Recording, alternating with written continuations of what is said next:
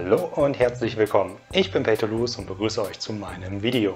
Zu Beginn der Woche habe ich ein Video hochgeladen, wo ich Shine Greymon spiele und ich bin mit diesem Deck sehr zufrieden. Bin da bei den Locals mit 4 zu 0 durchgegangen, habe quasi jedes Spiel gewonnen und möchte euch gerne das Deck ein bisschen zeigen, ein bisschen näher bringen.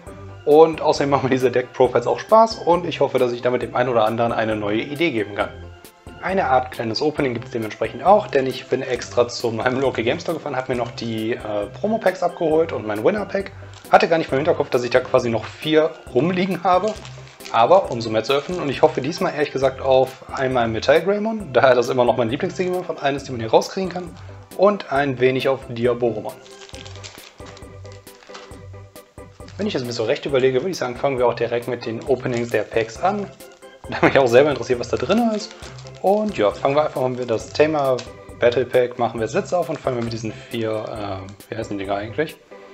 Official Tournament Pack. Gut, ich habe da hinten auch irgendeinen fancy Namen. Egal, machen wir einfach mal auf. Meine Achillesferse sind immer noch die Booster. Ich hoffe einfach diesmal auf schwarzen Stuff, aber wir haben einmal ein Miotismon. Finde ich jetzt nicht so cool, habe ich schon einmal für die Sammlung. Ey, das schwarze Zeug, das neidet mich einfach. Ich bin echt nicht mit Glück gesegnet. Ach doch, ich dachte gerade schon, das wäre noch ein, äh, wie heißt es, ein Miotismon? Ne, ist ein Infermon. Muss mir gerade selber mal zum ersten Mal die Effekte durchlesen. On-Play trigger D Digivolve 1 on one of your opponent's Digimon. Okay, äh, ist jetzt nicht so berauschend, ist auf jeden Fall... Ja, kann man machen.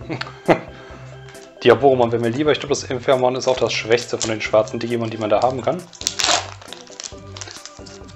Ja, ein Demi-Devimon. Das ist noch ganz cool. Einmal mag ich die Karte selber vom Artwork her. Auf der anderen Seite ist sie halt in lila Decks ganz gut spielbar. Vielleicht ist mein Fehler auch, dass ich ganz gesagt wir wollen das schwarze Zeug haben. Diaboromon ist weiß. Dementsprechend hoffen wir auf weißes Zeug.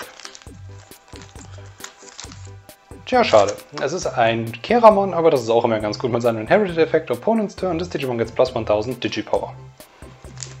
Na, ist auf jeden Fall besser als meine, äh, als meine drei Devimon beim letzten Mal. Und wir haben hier drin, schade, noch ein Angewomon. Ähm, ist zwar auch cool, ist quasi so ein Goodie to have. Aber ich habe ja schon Sudomon und Angewomon gezogen, deswegen hätte ich jetzt auf eins der, zumindest auf Mega Kabuterimon gehofft. Aber nun gut. Es ist so schön, einen geschenkten Gaul und so weiter. Und ich würde sagen, dann machen wir einfach mal weiter mit dem Deck-Profile. Einmal das Video, was ich am Anfang der Woche hochgeladen habe, wo man das Deck sozusagen in Aktion sieht, werde ich euch hier oben rechts hinpacken. Auf der anderen Seite möchte ich vorher gerne vorweg sagen, dass das Ganze sozusagen nur meine Sicht der Dinge ist. Ich spiele meine Decks generell, ich sag mal, ein bisschen ja, anders, beziehungsweise habe eine andere Auffassung von manchen Karten möchte dementsprechend nur Denkanstöße geben und euch hier nicht meine Meinung aufdrücken. Also habt das bitte im Hinterkopf und nicht, dass es nachher heißt, ja, aber du hast ja gesagt, das muss ja so und so. Nee, das ist nur meine Meinung und ich möchte nur Tipps geben. Ich selber zum Beispiel schaue mir auch gerne Deck-Profiles an, aber nicht, weil ich einfach eine Liste eins zu eins kopieren möchte und mir keine Mühe bei dem Spiel geben möchte, sondern einfach, weil da manchmal Sachen erläutert werden, gezeigt werden, an die man selber nicht denkt, die man übersehen hat, wo man sich denkt, ach ja, hätte ich auch selber drauf kommen können. Also das ist auch mein Grundgedanke hinter jemandem einfach nur neue Ideen geben sozusagen. Da es sich hier um Shine Greymon handelt, würde ich sagen, fangen wir einfach mal direkt mit den Tamern an. Und zwar haben wir die hier. Wir fangen an, ich habe viermal gespielt den Vierer TK. Die Karte ist einfach viel zu gut. Ich habe sie am Anfang erst dreimal gespielt, habe dann aber gemerkt, das ist zu wenig. Ich möchte sie eigentlich konstant auf der Starthand haben. Und ich sag mal, mit dem Wissen darum habe ich auch das Deck so ein bisschen konzipiert. Da kommen wir gleich noch zu. Das Wichtige hier ist aber einmal, dass er uns jede Runde mit mindestens drei Memory starten lässt, aufgrund von seinem Effekt. Das heißt, wir möchten den halt auf der Starthand haben, möchten uns aus der Security wichtige Sachen rausfischen. Diese Karte ersetzt sich ja sozusagen selbst auf der Hand, was schon sehr, sehr gut ist. Wir spielen halt auch nur gelbe Karten, weswegen wir hiermit eigentlich immer nur, naja, sozusagen Plus machen, bzw. Ausgleich. Wir haben ein Thema auf dem Feld, weiterhin die volle Security, eine, eher eine andere Karte dafür auf der Hand. Das ist eine sehr, sehr gute Karte. Und der Sinn des Ganzen ist eigentlich, dass wir unseren Gegner, ja, wie soll man sagen, von Anfang an direkt choken, auf 1 setzen, da wir so einen ja, gewaltigen Vorteil gewinnen, beziehungsweise einfach Zeit gewinnen, um unser Setup zu machen. Wie gesagt, vier Stück scheint erstmal viel, aber wenn ihr aus der Security kommt, äh, können wir uns damit noch was rausfischen. Das ist ziemlich gut äh, im Late Game, wenn man irgendetwas sucht. Also ich, ich bereue es eigentlich nicht, dass ich davon vier Stück gespielt habe. Dann machen wir weiter mit Kari. Davon spiele ich nur drei. Ich hatte vorher vier drin. Das Problem bei Kari ist aber einmal, diese Playcost von drei sind manchmal sehr, sehr doof. Da kommen wir gleich noch zu. Aber man spielt diesen Thema halt aus und hat am Anfang nichts davon. Und sobald der Thema halt auch auf dem Feld liegt, wird unser Gegner sich es ehrlich gesagt mindestens dreimal überlegen, ob er uns angreift, da er uns nicht diese zusätzliche Memory geben möchte. Es ist ein extrem guter Thema, ja, und auch mein Lieblingsziel eigentlich mit Rice Greymon, aber mehr als vier fand ich waren einfach unnötig und sind eigentlich eher eine Art Behinderung, um es mal so zu sagen. Dann haben wir noch den Zweier-TK aus dem Starter-Deck. Hier muss ich ganz ehrlich sagen, als ich mein Deck zusammengebaut habe, hatte ich im Hinterkopf, dass ich nur auf also drei von denen spiele. Ähm, ja, habe dann während des Spiels festgestellt, okay, du hast doch noch vier drin gelassen. Ich würde den ehrlich gesagt auf drei cutten. Da, naja, einmal elf Tamer sind einfach zu viel. Zehn sollten eigentlich auch ausreichen. Denn Shine Grammar funktioniert meiner Meinung nach im Prinzip äh, so viele Tamer wie möglich, so wenig wie nötig. Und damit bin ich persönlich halt ganz gut gefahren. Was das Coole an diesem Tamer ist, er wird halt für zwei ausgespielt. Das heißt, fürs Joken ist das sehr, sehr gut. Ähm, der Effekt, dass alle unsere Security-Digimon in der gegnerischen Runde plus 2000 kriegen, ist ehrlich gesagt ein Effekt, der nicht so oft ja, wie soll man sagen, gekommen ist, wichtig war. Also entweder haben wir halt gegen Sachen gekämpft, die sowieso gestorben werden oder die halt Jamming haben, also quasi nur die Extremen. Und ja, und dann kommen wir jetzt zu der Sache. Also ich gehe davon aus, wenn ich Shine Greymon spiele, dass ich halt mit diesem TK starte oder den recht schnell draußen habe. Und um einen Vorteil zu generieren, muss ich meinen Gegner halt konstant auf 1 setzen, da er so eigentlich nichts machen kann, außer eventuell aufs Champion-Level digitieren, ohne die Runde abzugeben. Und das erreichen wir halt mit einer Kombination, da dass wir mit 3 starten. In den meisten Fällen, indem wir eine Kombination von Karten ausspielen, die 4 kostet. So, ist halt in der Hinsicht dann auch ganz cool, wenn wir diesen TK haben. Wir können den einmal ausspielen, noch ein Zweier Digimon aufs Champion Level digitieren, aufs Ultra Level, zwei von denen ausspielen, wie ich es halt auch gemacht habe. Ist halt sehr, sehr cool und der Gegner ist halt auf 1 gesetzt. Und das ist sozusagen auch das Problem, was ich mit Kari habe. Ähm, wir starten mit 3 durch diesen TK in der Regel. Drücken wir unten hin, damit es nicht so reflektiert. Spielen die aus, ja, und sind dann auf 0. Das heißt, wir müssen etwas machen. Klar, es gibt noch das äh, Turimon, was uns für 1 digitieren lässt und wir setzen den Gegner auf 1. Das haben wir aber in der Regel halt nicht da. Und auch mit mehreren Ultra-Level-Digimon haben wir dann das gleiche Problem. Wir geben unser Gegner einfach zu viel Memory, beziehungsweise haben damit das Choken aufgehört. Und unser Gegner kommt auf einmal ein bisschen besser ins Spiel. So, das waren die Thema, die Spiele. Insgesamt elf Stück. Wobei mein eigentlicher Grundgedanke ja war, dass ich eigentlich 10 spiele. Die 11 haben jetzt auch nicht so sonderlich geschadet, aber na, ich weiß nicht, 10, äh, 11 sind glaube ich zu viel, 10 sind optimal, wobei wahrscheinlich auch 9 reichen würden, wobei ich allerdings nicht auf diesen TK ähm, verzichten wollen würde. Machen wir weiter mit den Digitaman und zwar spielen wir da ganze 5, da wir eigentlich recht lange Spiele haben und auf den Kartendraw nicht verzichten wollen. Ich habe gespielt viermal Upamon aus dem aktuellen Set, bzw. Set 1.5. Hatte den Inherited Effekt uh, once per turn when attacking, if you have three of your security cards, trigger draw one card. Shine Greymon ist halt wie schon gesagt ein Deck, was eigentlich erst später kommt und ein paar Angriffe abkriegen muss. Deswegen finde ich, ist das hier die verlässlichste Variante. Ähm, wir, ab 3 Memory kommt diese, oder ab 3 Security kommt das Deck halt am meisten in Fahrt. Und dementsprechend greifen wir halt an, dürfen noch eine Karte ziehen. Das Deck hat allgemein recht viel Draw Power. Und ja, ich finde von allen Digitalmann ist das hier aktuell das nützlichste, was wir haben kann. Was wir haben kann, was wir haben können. Ich weiß nicht, warum ich heute so einen Sprachfehler habe. Aber ja, das ist auf jeden Fall meiner Meinung nach das Beste, was wir haben. Dementsprechend das viermal. Das fünfte Digitama. Schauen wir mal hier, damit es nicht reflektiert. Oder damit es recht reflektiert. Äh, das als fünftes Digitama habe ich Niaromon gespielt. Ähm, wie gesagt, das fünfte ist mir eigentlich egal. Ihr könntet auch Tokumon aus dem Starterdeck nehmen oder sonst irgendeins. Der Grund, warum ich das hier genommen habe, auch wenn dieser Effekt so gut wie nie irgendwie wichtig war oder den Unterschied gemacht hat, wenn wir angreifen und crested sind, kriegen unsere Security Digimon halt plus 1000 und dieser Effekt ist halt verlässlich, kommt halt immer.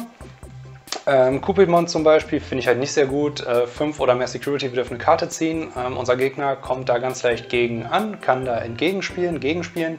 Und wie schon gesagt, ich bin der Meinung, dieses Deck ist am stärksten bei 3 oder weniger Security. Dementsprechend ist Cupidmon einfach, ja, verschwendeter Platz, verschwendete Mühe. Ich weiß nicht, wie man es nennen soll. Ich finde die Karte auf jeden Fall nicht gut. Ich fand sie auch noch nie gut, wenn ich ehrlich bin.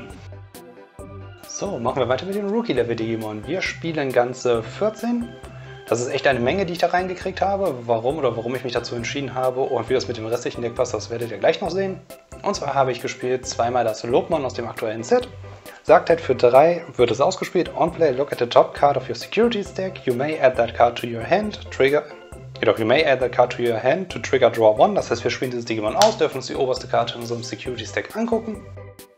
Ähm, dürfen uns anscheinend für sie auf die Hand nehmen. Wenn ja, haben wir einmal die Karte aus der Security Plus gemacht und dürfen noch eine Karte ziehen. Das heißt, wir, dürfen, wir kriegen zwei Karten dazu, was schon sehr, sehr gut ist. Auf der anderen Seite müssen wir damit aber auch vorsichtig sein, da wir so ein Leben verlieren und die meisten Gegner werden versuchen, gegen Shine Greymon direkt Lethal aufs Board zu kriegen, dass sie halt mit einem Angriff oder mit einer Runde direkt uns komplett wegmachen können. Und eigentlich ist diese Karte äh, fürs Mirror und für diese Situation, die meisten Gegner greifen einen halt einmal an, wenn überhaupt am Anfang. Damit spiele ich das Ganze halt aus und kann halt meine Karis und alles triggern. Wie gesagt, bei 3 Security fängt das Deck eigentlich am meisten an zu rollen. Und das war so der Grundgedanke dafür. Es ist etwas heftig mit den 3. Ist auch wieder eine Typenkombination, die ich, oder eine Kombination, die ich ja nicht mag. Wir wollen halt auf die 4 kommen, aufgrund des TKs. Aber ich wüsste auch nicht, was wir hierfür großartig cutten sollen, da die Karte noch eine gewisse Funktion hat, sage ich mal. Dann aus dem, äh, aus dem Set 1.0 spielen wir viermal Zukaimon. Zukaimon für 2 ja, das war eigentlich, ist eigentlich auch schon der Grund, warum wir es halt spielen, da wir halt wieder möglichst die Kombination mit 4 kriegen wollen. Können das einmal ausspielen, ein 2er TK, zwei von denen. Können das ausspielen, noch aufs Champion Level digitieren. Wir wollen halt diese Kombination von 4 Memory kriegen, um unseren Gegner konstant auf 1 zu setzen.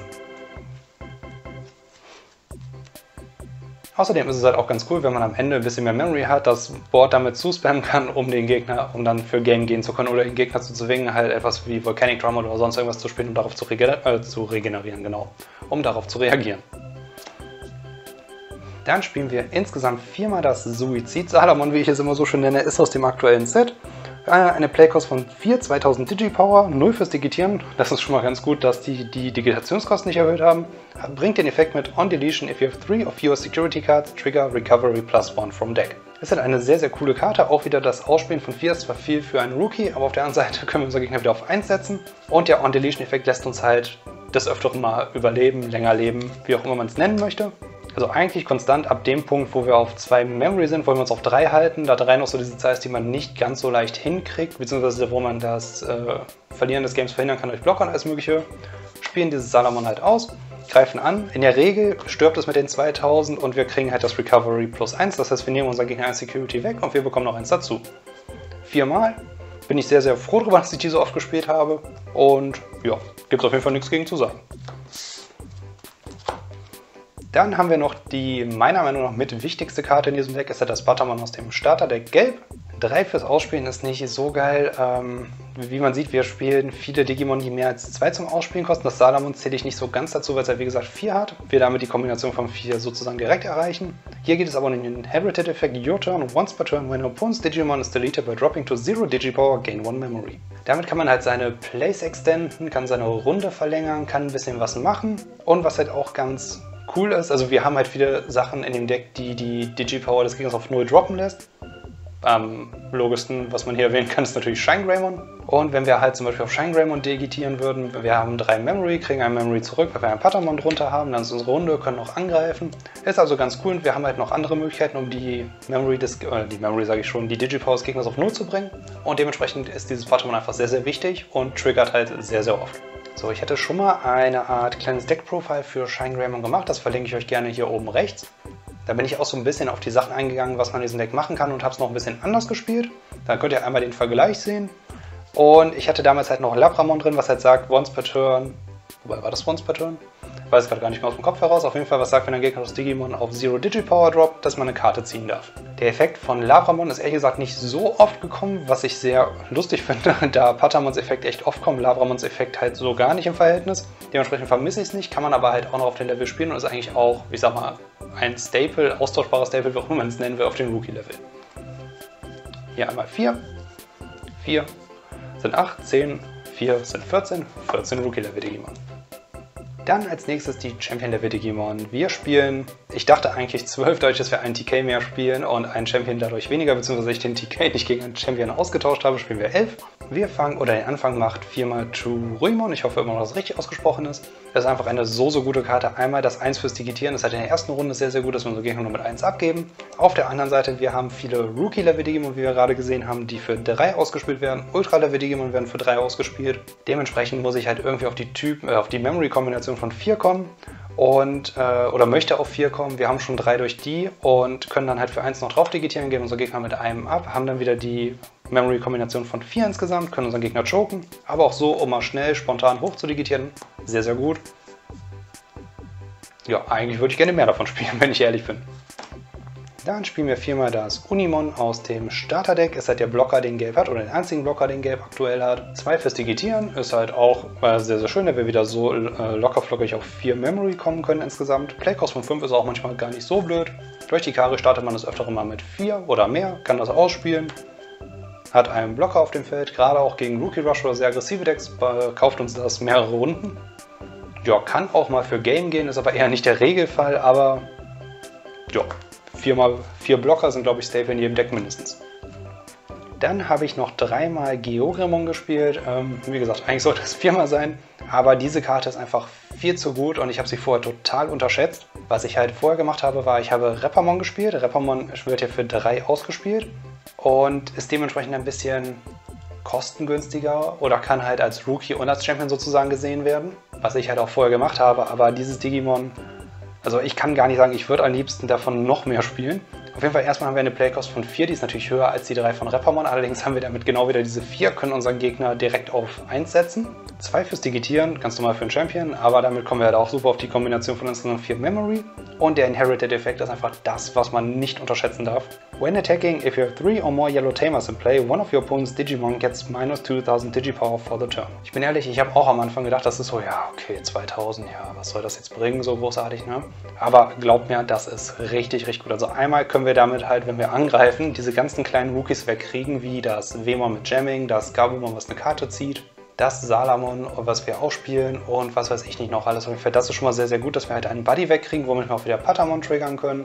Aber es sind meistens genau diese 2000, die mich davon abhalten, ein anderes Digimon zu killen, weil diese 2000 einfach fehlen. Wir gehen mal kurz davon aus, äh, Blocker mit ihren 6000, äh, manch ein Ultra-Level-Digimon mit 6000 oder auch wenn wir so gegen sowas wie Ragnarlordmon spielen, das sind halt genau diese Werte oder das, was einem fehlt, wofür man noch einen zusätzlichen Tamer bräuchte. Das heißt, ich bräuchte normalerweise zwei Tamer, um einen Blocker zu killen. Und hiermit brauche ich das halt genau nicht. Das sind meistens eben diese Sachen, die dann doch noch einen Digimon killen sozusagen, die dafür sorgen, dass ich halt ein Thema weniger brauche, mich auf andere Sachen konzentrieren kann. Das ist einfach viel zu gut. Zumal die sozusagen auch stacken können, wenn wir drei davon im Spiel haben. Auf jeden Fall, damit kann man einiges machen. Ich glaube, das sieht man auch in dem Video ganz gut, was ich euch ja äh, am Anfang verlinkt habe. Ach, ich bin ehrlich, was soll's. Äh, drei Videos kann man, glaube ich, pro Video verlinken. Dementsprechend verlinke ich euch das nochmal hier oben rechts. Guckt es euch gerne an. Man sieht auf jeden Fall, was dieses Georemon kann. Und ich bin sehr, sehr zufrieden mit dieser Karte. Werde allerdings noch eine zusätzliche reintun und dafür einen TK raus. Bevor das jemand missversteht, den 2er TK, nicht den 4er TK.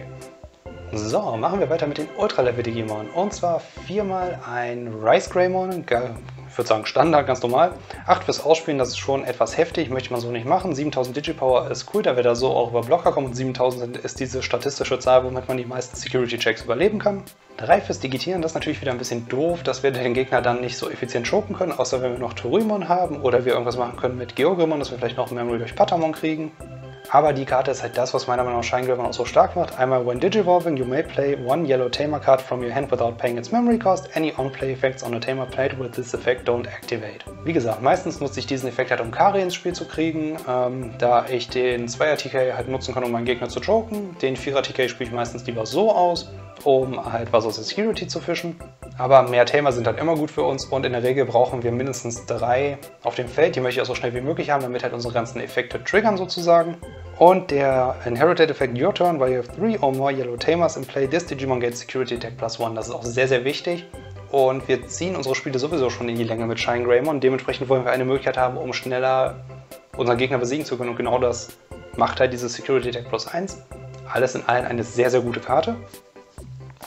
So, dann habe ich noch gespielt zwei Sirenmon. Sirenmon hat auch das, äh, um halt schnell digitieren zu können. Für zwei digitieren wir auf dieses Ultra-Level-Digimon. Das ist halt sehr, sehr gut, sehr effizient. Die 6000 sind ein bisschen wenig, ist aber auch wieder etwas, was auch viele andere Decks spielen, zum Beispiel Monza-Emon oder wie heißt es, Groundramon. Da hätten wir halt hier ein Beispiel für halt Geogramons Effekt. Wir greifen an, minus 2000, das Digimon ist noch bei 4000, ein Thema reicht halt. Äh, der Grund, warum wir das über das Antillamon oder an, ich glaube Antillamon heißt ähm, digitieren, äh, Quatsch, nochmal von vorne, warum wir es anstatt des anderen Digimon spielen, was wir zwei digitiert, sind halt die Playcost von 5. Das tut nicht ganz so weh, teilweise auch im Late Game, wir können es einfach rausspielen, direkt drauf digitieren, ist halt super machbar. Alles in allem eine coole Karte und es ist mir echt schwer gefallen, davon nicht doch vier zu spielen, wie ich eigentlich erst vorhatte. Der Grund dafür ist, dass ich zwei Chakomon gespielt habe oder beziehungsweise spiele Chacomon selber ist, kann halt auf Blau oder Gelb digitieren für 3. 3 ist zwar wieder eine doofe Zahl, aber nun ja. Ist aber aktuell die einzige Karte, die ich in dem Deck gesehen habe, gegen wirklich Rookie Rush. Denn es geht hier darum, Opponent's Turn, out of your opponent's Digimon with no Digivolution Cards, gain Security Deck minus 1. Rookie Rush ist halt ein Deck, was sehr, sehr schnell das Board voll kriegt und wir könnten halt in einer Runde überrannt werden. Dieses Digimon können wir halt hard playen. In den meisten Fällen kann so ein Gegner nichts dagegen machen, denn Rookie Rush wird in der Regel, auch wenn es andere Varianten gibt, wird halt blau-grün gespielt und dementsprechend haben sie die in der Regel kein Removal. Das heißt, selbst wenn wir in der ersten Runde das Ding für 8 Hardcasten, kann unser Gegner nicht sehr viel machen. Klar, die könnten äh, Casitas Breath spielen, dann geht das Ding wieder auf die Hand, wir können es aber wieder ausspielen. Ähm, viele spielen mittlerweile Positron Laser, er bounce das Ding auch wieder zurück auf die Hand, wir können es wieder ausspielen. Also, bin ehrlich, ich habe noch nicht ein einziges Mal seitdem 1.5 draußen ist gegen Rookie Rush gespielt. Aber ich kann mir vorstellen, dass diese Karte halt was dagegen bringt. Ansonsten würde ich halt noch zwei Saruman mehr spielen, aber ich wette genau, ab diesem Moment, wenn ich diese zwei raustue und dafür noch zwei Saruman reintue, komme ich bestimmt nur noch gegen Rookie, oder werde ich nur noch gegen Rookie Rush gepaart. Dementsprechend lassen wir es einfach mal so. 8 Ultra-Level Digimon, 8 ist so eigentlich die Standardzahl, 10 wäre natürlich besser, aber wir brauchen halt Platz für die Tamer. Und so können wir eigentlich verlässlich auf die höheren Level digitieren. Kommen wir zu der Karte, nach der das ganze Deck benannt ist, und zwar Shine Greymon. Shine Greymon ist einfach ein absolutes Beast. Einmal when Digivolving, suspend all of your little tamers. For each tamer you suspend way, activate the following effect. One of your opponent's Digimon gets minus 4000 Digipower for turn. Das heißt, wir digitieren, tappen alle unsere Tamer, geben unseren Gegner quasi einen Board Wipe. Und das ist halt das Coole. Auf der einen Seite, es ist ein Setup-Deck. Setup-Decks mag ich sehr. Aber wir sind sozusagen mit unserem Gegner gleich auf. Unser Gegner hat halt auch ein gewisses Setup gemacht. Aber wir digitieren auf Shine Greymon ähm, resten all unsere Tamer und geben den Gegner quasi einen Boardwipe. Das heißt, wir sind einmal noch da, wo wir halt vorher waren. Vielleicht sogar besser, weil wir jetzt ein starkes Mega auf dem Feld haben. Unser Gegner ist aber zurückgeworfen. Und der Gegner kann halt auch herzlich wenig dagegen tun. Klar, er kann uns irgendwie vor unter Kontrolle halten. Wir können aber in unserem äh, Raising Area können wir vorher aufs Ultra-Level hochdigitieren, rausziehen, digitieren. Er kann es halt nicht verhindern. Anders als zum Beispiel als starkes Gegendeck oder als Gegenbeispiel äh, Ulfos Vedramon braucht halt auch ein gewisses Setup, aber ja, unser Gegner hat bis dahin auch ein Setup gemacht, wo wir halt nicht dran vorbeikommen. Wenn unser Gegner zum Beispiel viele Blocker da liegen hat, da, da gibt es halt keinen Ausweg sozusagen. Wenn ihr versteht, was ich meine. Ansonsten 11.000 Digipower sehr, sehr cool, da wir so nicht anfällig sind für Bancho Stingmon. Äh, viel fürs Digitieren ist eigentlich, ist eigentlich zu viel, kann hier aber auch ganz cool sein, da wir unsere Gegner so nur mit 1 abgeben. Und ansonsten durch Patamon kriegen wir in der Regel eigentlich immer ein Memory zurück. Dementsprechend kann man sagen, digitiert ist für 3. Ansonsten noch, your turn, this Digimon gets plus 1000 Digipower for each Tamer you have in play. Wir haben in der Regel eigentlich mindestens 3, 4 äh, im Game, womit wir halt auf die einmal magischen 13.000 kommen, womit wir stärker sind als die meisten Digimon. Können aber auch ohne Probleme auf 16.000 oder höher kommen, womit wir halt keinen Digimon Security Check fürchten müssen. Ansonsten, da 4 Mega-Level-Digimon ein bisschen wenig wären, habe ich noch zwei Slash Angemon reingetan. Slash Angemon, wenn es digitiert oder when digivolving, one of your opponent's Digimon gets minus 8000 Digipower for the turn. Kann halt auch cool sein, wir digitieren, dürfen noch eine Karte ziehen, haben einen Buddy auf dem Feld und können unseren Gegnern noch was Wichtiges wegsnipen, meistens Ultra-Level-Digimon. Kriegen vielleicht durch Patamon noch Memory wieder. Ähm, können auch größere Sachen killen durch die Kombination Geogrimon und die minus 8000. Das stackt halt irgendwann. Ja, ich bin mit diesem Digimon nicht komplett zufrieden. Ich wüsste aber auch nicht, was die Alternative wirklich ist. Klar, wir können sowas wie Kleves Angemon spielen, aber na, ich weiß nicht. Also ich bin damit noch nicht zufrieden. Klar, es erfüllt irgendwie seinen Zweck, aber diese 8000, ich greife dann einmal an, meistens ist es danach weg. Und ich weiß ja nicht, ob man dadurch wirklich was gewonnen hat. Eine andere Alternative wäre noch Mastomon. Wäre, glaube ich, ganz cool, die mal auszuprobieren. Naja, muss man halt mal gucken. Wie gesagt, äh, ein Partner ist auf jeden Fall meiner Meinung nach wichtig, da vier Mega-Level-Digimon einfach viel zu wenig wären. Dementsprechend Slash Angemon. Aber ihr könnt mir auch gerne in die Kommentare schreiben, was eure Meinung ist, wodurch man Slash Angemon ersetzen kann. Da ich mit dem halt nicht ganz so zufrieden bin. So, das war das Deck, wie ich es gespielt habe. Und wie man sieht, ich spiele halt keine Option Cards in diesem Deck. Warum ich die nicht spiele? Ich habe halt vorher Eden's Javelin gespielt, ist eine coole Karte. Äh, Glorious Burst ist halt einfach busted, wenn man die hier hat. Teilweise wird der Glorious Burst für drei oder weniger ausgespielt. Das ist schon echt krass. Und es ist auch nicht so, als wären die Karten schlecht gewesen, um das mal so zu sagen, da sie halt ihren Zweck erfüllt haben. Eden's Javelin killt am Anfang halt die Sachen, lässt eine Karte ziehen. Glorious Burst killt die großen Sachen. Aber ich habe diese Karten halt rausgenommen, da ich dafür mehr Digimon reintun wollte. Da ich das Gefühl hatte, okay, mir fehlt es irgendwie schnell hoch zu digitieren, da ich so auch Karten nachziehe und irgendwie halt an meine Thema kommen muss. Und ich bin halt der Meinung, auch wenn die Karten ihren Zweck erfüllt haben und sozusagen die Sachen, äh, die das Game herausgezögert haben, Hätte ich an dieser Stelle halt ein Digimon gehabt, hätte hochdigitieren können, wäre es aufs gleiche hinausgekommen, dass ich halt einen Buddy auf dem Feld habe. Ich bin der Meinung, oder so sehe ich das, so Karten wie, ich zähle auch mal Puppetmon dazu oder halt Option Cards, Removal Cards. Das Problem ist halt, wenn ich in einer nachteiligen Position bin, wo ich sie einsetzen muss, gebe ich dem Gegner halt so viel Memory, dass die Situation nachdem ich die Karte ausgespielt habe, ausgeglichen ist. Mein Gegner hat aber so viel Memory, dass er die Situation danach wieder herstellen kann. Wie gesagt, ist halt meine Meinung. Und ich habe halt, ja, wie soll man sagen, ich weiß halt, welche Karten ich dafür reingetan habe für Glorious Burst, Aiden's Javelin und so weiter und so fort. Und auch wenn ich mir meine Matches angucke, da ich ja viele aufnehme, um daraus eventuell Videos zu machen, die ich hochladen kann, ist mir halt aufgefallen, dass es halt an diesen Stellen an Sachen gefehlt hat.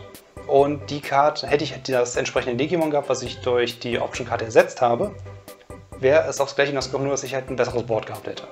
Klar haben mir die Karten noch gute Dienste erwiesen, aber es waren halt so Situationen, wo ich halt sage, okay, ich warte jetzt auf ein äh, Champion- oder Ultra-Level-Digimon, damit ich halt hochdigitieren kann aufs Mega, weil mir dieses eine Schlüsselstück sozusagen gefehlt hat. So, mein Gegner hat halt ein Ultra-Level da liegen. Ich spiele eben Javelin, kill ihn das Ultra-Level-Digimon, gebe ihm aber, ich glaube, 4 Memory oder sowas musste ich ihm geben.